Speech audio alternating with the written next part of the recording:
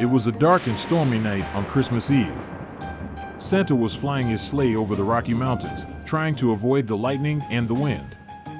He had just delivered the last present in Colorado and was heading to Wyoming when suddenly a bolt of lightning struck his sleigh.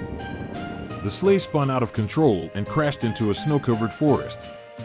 Santa was unconscious and bleeding from his head. The reindeer were unhurt, but they were scared and confused. They tried to wake up Santa, but he didn't respond. They looked around and saw a sign that said Yellowstone National Park.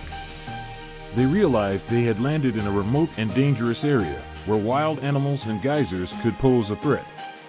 They decided to call for help using the emergency button on the sleigh. The button sent a signal to the North Pole, where the elves were monitoring Santa's progress. They saw the red alert on the screen and panicked. They quickly dispatched the North Pole Emergency Sled, a high-tech vehicle that could fly faster than the speed of sound. They hoped they could reach Santa in time and save Christmas. Meanwhile, in a nearby ranger station, a park ranger named Jake was getting ready to go home.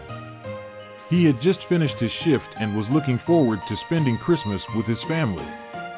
He was about to leave when he heard a loud noise outside. He looked out the window and saw a bright light in the sky. He thought it was a meteor, but then he saw it was heading towards the forest. He grabbed his radio and his flashlight and ran to his truck. He drove as fast as he could to the crash site, hoping to find survivors.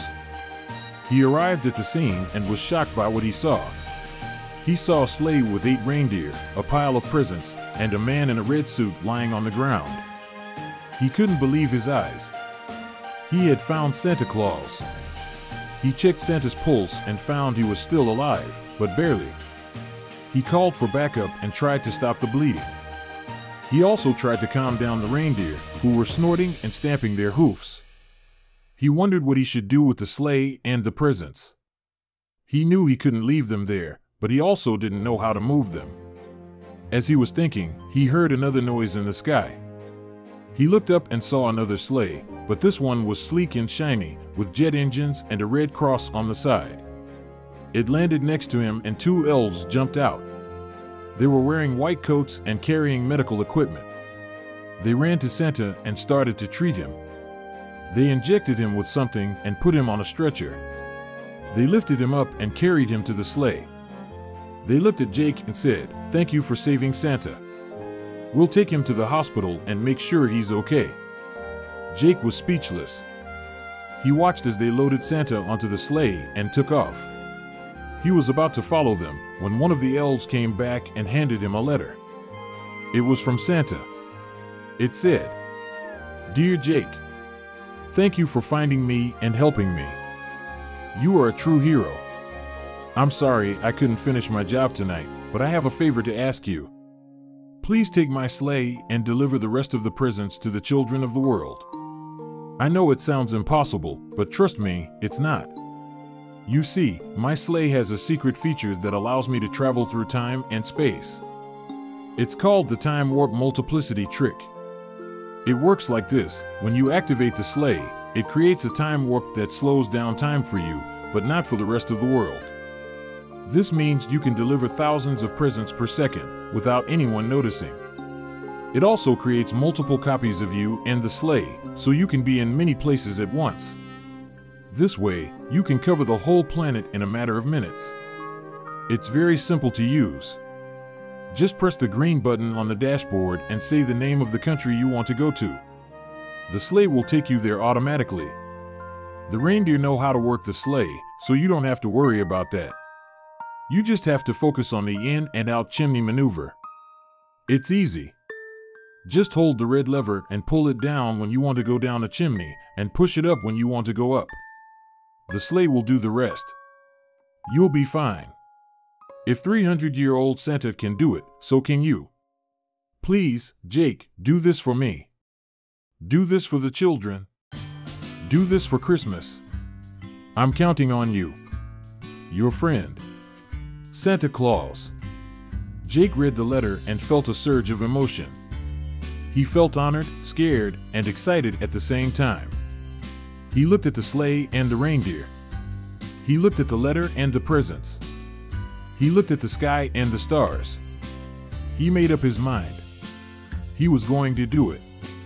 He was going to be Santa for a night.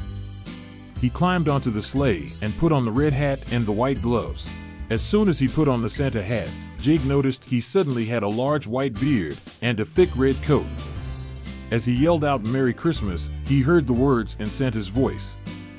Jake realized Santa has an image that must be maintained, and the hat transformed him into Santa.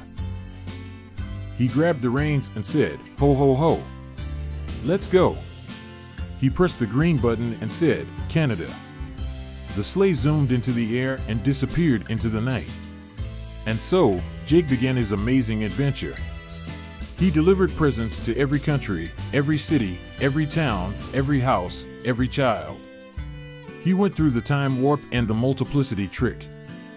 He went up and down the chimneys. He ate the cookies and drank the milk. He laughed and smiled and wished everyone a Merry Christmas. He had the time of his life. He finished his task in less than an hour. He returned to Yellowstone and landed the sleigh. He unloaded the last present and gave it to a sleeping bear cub. He petted the reindeer and thanked them for their help. He took off the hat and the gloves and left them on the sleigh.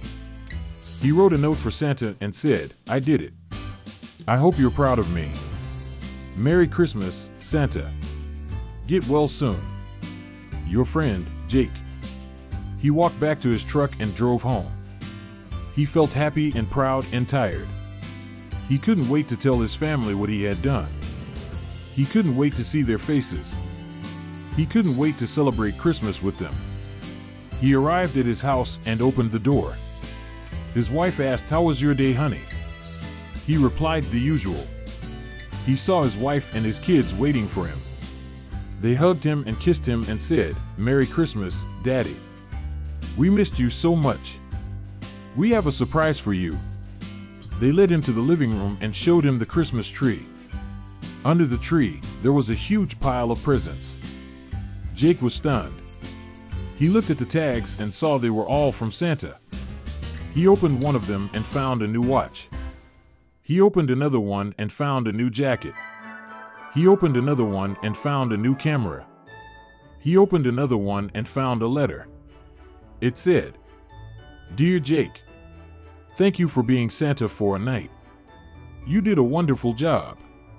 You saved Christmas. You made me proud. You made the children happy. You are a true hero. I'm very grateful to you. As a token of my appreciation, I decided to give you and your family some extra presents. I hope you like them. You deserve them. You are a good man. Jake. A good husband, a good father, a good ranger, a good friend. I'm glad I met you. I hope we can meet again someday. Until then, take care of yourself and your family. Have a Merry Christmas and a Happy New Year. Your friend, Santa Claus. Jake read the letter and felt tears in his eyes. He looked at his wife and his kids and felt love in his heart. He looked at the presents and felt joy in his soul. He smiled and said, Merry Christmas, Santa. Merry Christmas, everyone. He hugged his family and they hugged him back. They opened the rest of the presents and had a wonderful time. They had the best Christmas ever. The end.